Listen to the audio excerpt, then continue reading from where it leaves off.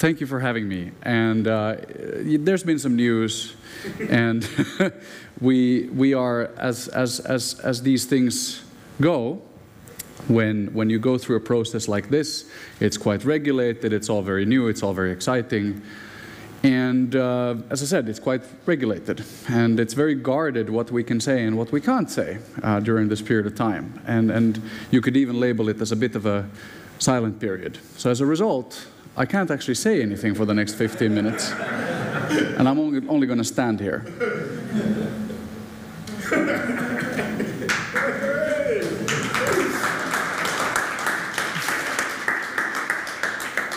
nah, that's not completely true.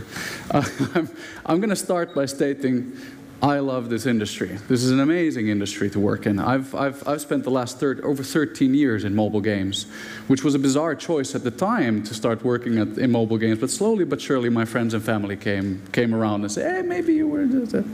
But this is a great industry uh, to be in. Uh, there's a few reasons why. I'm, I'm going I'm to state here some of the most obvious ones. Um, mobile gaming is now the biggest form of gaming entertainment. Uh, this happened last year, so not a small feat. This is an industry that was born this year, 20 years ago, here in Finland. Um, last year, mobile gaming took the helm as, as the biggest form of, of gaming entertainment, by, measured by consumers' spending. Consumers voting with their wallet for mobile games. Um, in fact, mobile gaming is the, is the fastest growing form of entertainment overall. Uh, let that sink in for a minute. Uh, TV, well, I don't know if anybody watches TV anymore, but uh, TV, uh, box office, etc., everything's dwarfed by the growth of mobile games. Analysts were, are, are predicting a 14% growth rate until 2020. That's all fine, but it looks as though the industry is actually growing far faster than a meager 14% CAGR. Uh, why so? Well, iOS and, and Android mobile gaming revenues grew Q1 year over year over 50%. And App Annie, which I'm sure you all, you all stare at App Annie figures from time to time, uh, App Annie recently said that uh, they believe that the mobile gaming end user generated revenues are going to be at 105 billion in 2020, uh, sorry, 2021.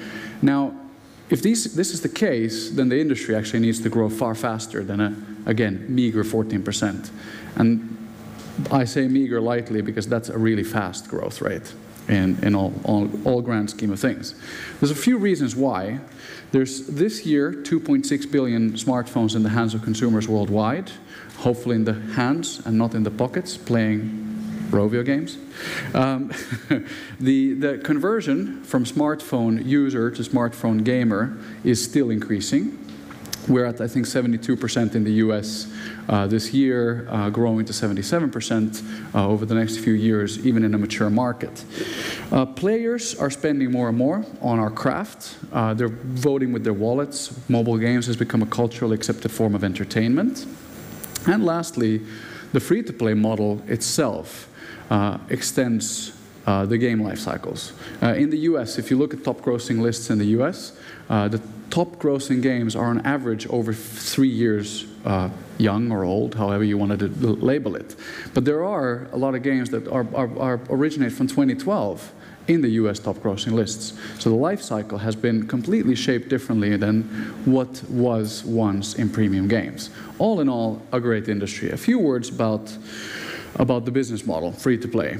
Um, and here, two of our own examples. Uh, I, I, don't probably need to sell you on the fact that when free to play works well, you can increase your business over time. But it's very striking when you look at uh, two, of, two of Rovio's own examples. Angry Birds Space. Who remembers where Angry Birds Space was launched from? Ah, Chris, you should know this. was a space shuttle from NASA? It, it, was from a space station. So, so some, sometimes these things happen. And uh, to my knowledge, it's the only video game in history ever launched from a space station. Um, quite a meteoric launch. Um, hey, the the. I thought that was tumbleweed. Uh, the the. Um, Now, having such a great launch, it still falls over time. That's just how, how premium games work. Whereas free to play, when it works well, it looks a bit like Angry Birds 2. Uh, a game that we, well, initially we, we, we stumbled, stumbled a little bit with that game, but we managed to turn it around over time, and we've, we've surpassed our initial uh, revenue spike, and we still believe we have our be best days ahead of us. This is, this is really beautiful. This makes sense. And from a financial point of view, this is also something that, that is way more predictable and stable than premium ever was. So in here, in our wonderful business, you have the art, you have the data, and you have the business all wrapped into one. That's free to play, and it's wonderful. I love it. I also love Rovio. it's funny to say that on stage, but I love Rovio, and there's a few reasons why. Um, I believe in our mission. We're here to set the world on fire by crafting the best games and entertainment in the world. Um, who knows what Rovio means? Who knows what Rovio means? Rovio means bonfire. So there's, there's, a, there's a direct correlation there with, with, with, uh, with, what, with what we aim to do. We also want to conquer the top grossing charts for years, and we want to grow Angry Birds, and perhaps in the future also some other brands, um, to evergreen entertainment brands. This is, this is our mission and our vision. And to underline underline this, there's a short video that, that I wanted to show you, show you today of some of the things that we've, we've done over the past few years uh, with Angry Birds and, and with Rovi. And I think the, especially I think the mission statement kind of comes to light by, by, by looking through this, this short video. So let's go. Oh, it starts by the very first animated trailer for Angry Birds, which we spent, let this sink in for a minute, $25,000 on. What? So, here we go.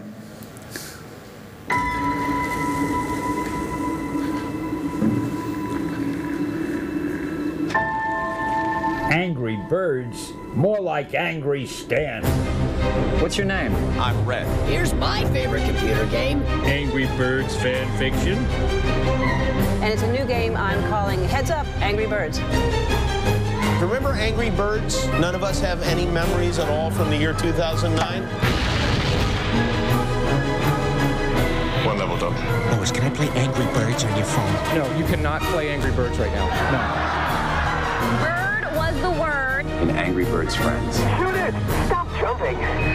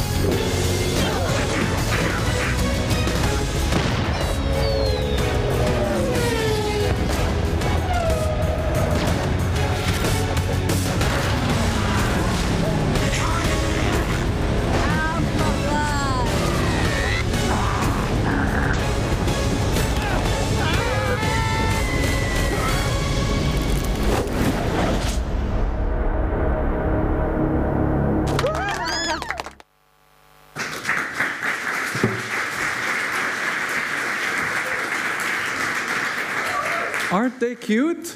Uh, now, if that's not reason enough uh, for me to love the company I work for, there's more. Um, we are now what we label as a games first entertainment company. Now, there's the, the, the, these are the non data heavy slides. You should see, you should see the data heavy slides. Uh, uh, the, the games business accounts for, for about 80% of revenue over the last 12 months, brand licensing about 21%.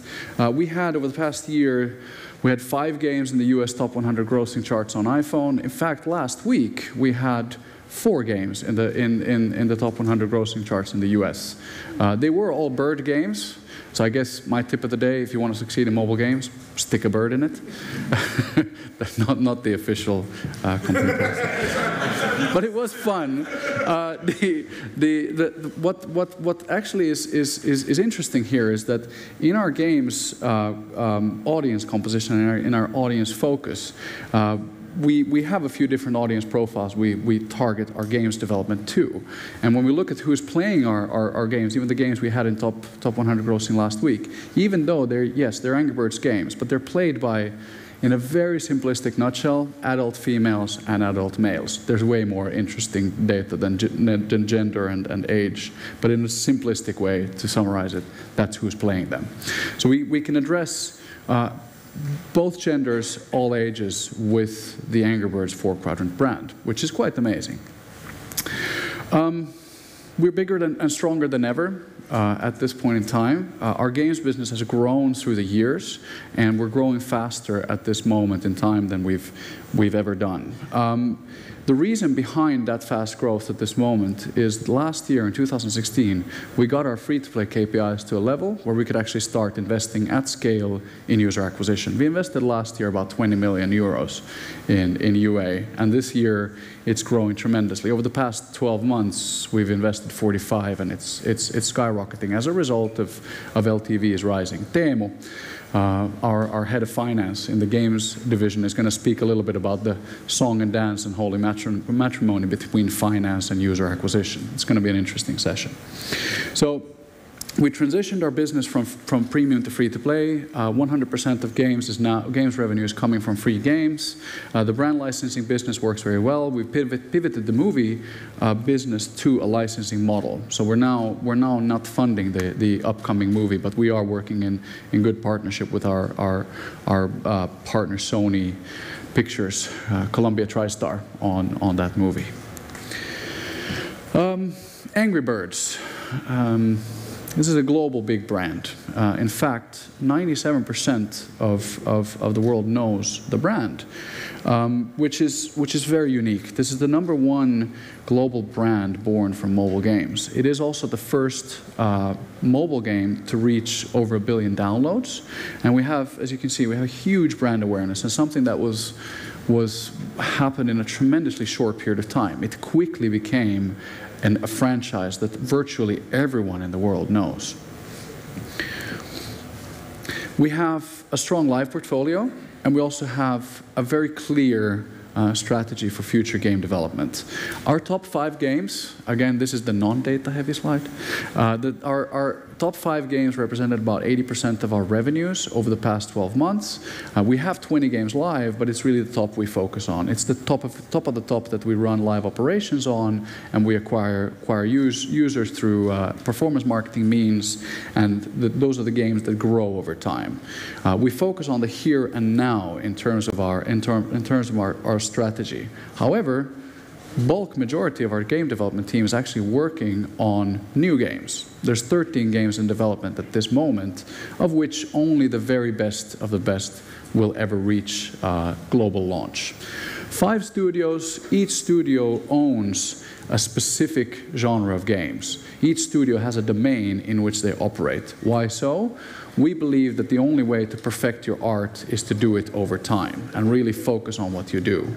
And we've chosen each domain, each genre, specifically based on market development based, and based on our own strengths. Naturally, we're strong in slingshot games. well, but this is interesting. This is like this. This is a top-grossing genre now, and we are we we're strong. I can't claim ownership of sling, slingshot games, but I just don't know very many other slingshot games than ours.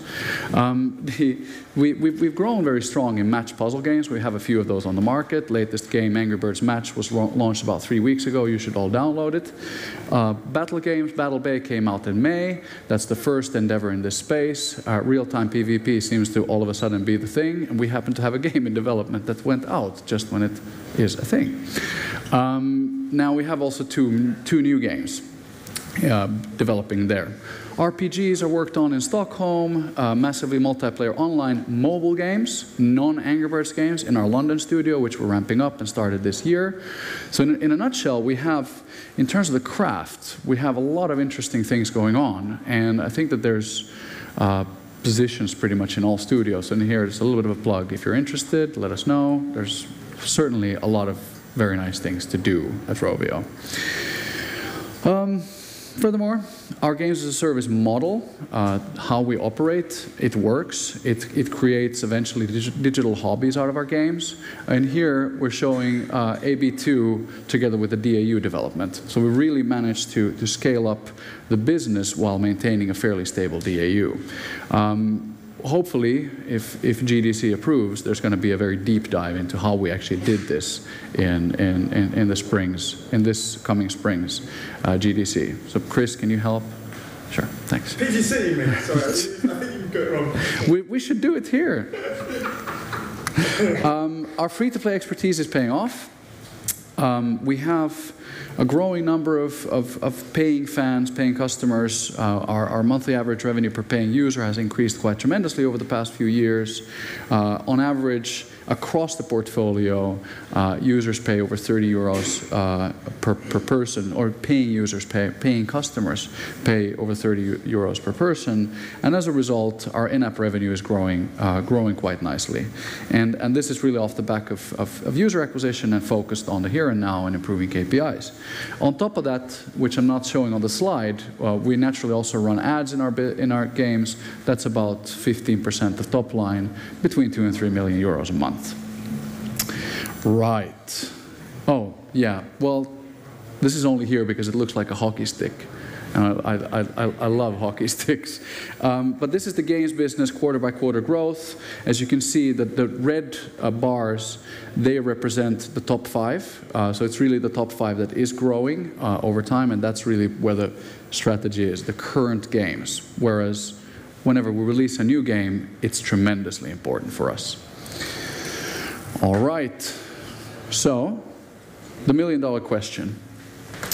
What have we learned so far from this process we're in and potentially then becoming a listed company in the future? So, number one, suits, both in our corridors and in our closets. That was a surprising learning. Look at me, I, what is this?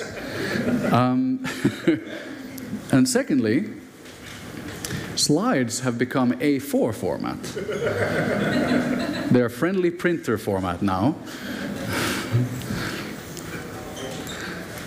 Our staged jokes are scripted to the finest detail.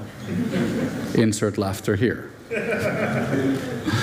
and lastly, ah, everything aside, uh, what, what we really have learned and what we, what we really want to underline is, is that this is a process, it's something we go through, and hopefully it results in a positive outcome. However, uh, we have our own culture. We are, we are Rovio, and we will remain Rovio despite uh, the process we go through. We will remain an internally very transparent organization. We've done really, I think, really good choices in terms of how, how we approach data moving forward uh, and, and learning from each other has always, uh, has always been very important for, for game development and very important for Rovio. And that will remain a very, very important aspect of our, of our company moving forward. So with that, thank you. And feel free to get in contact.